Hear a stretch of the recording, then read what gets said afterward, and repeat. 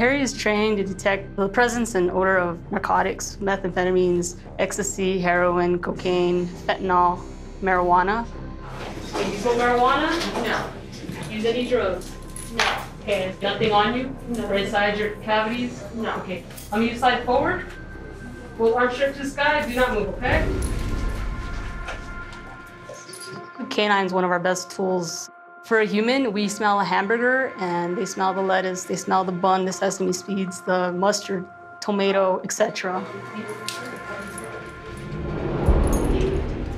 Canine did not alert to the daughter. Have a seat right in the middle of that silver bench, okay? Any drugs, anything illegal on your person? No. Both arms straight to sky. Do not move, okay? Dang. And stand up. Sure you got nothing on you? I don't have nothing, I promise. I'm on my period. Keep, keep your hands, keep your hands on it. I'm just giving you a heads up. He's allergic, okay? Oh my god. A canine will only hit on narcotics. They're not going to hit on somebody's bodily fluids.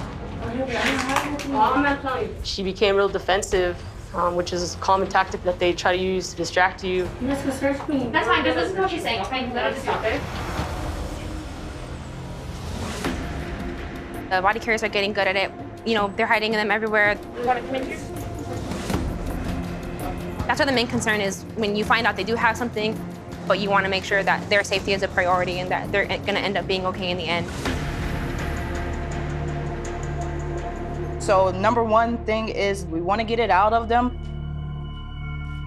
Any point in time, the package can snap. Um, we've seen it happen. Especially with fentanyl, one small drop that may get on the body can lead to an overdose.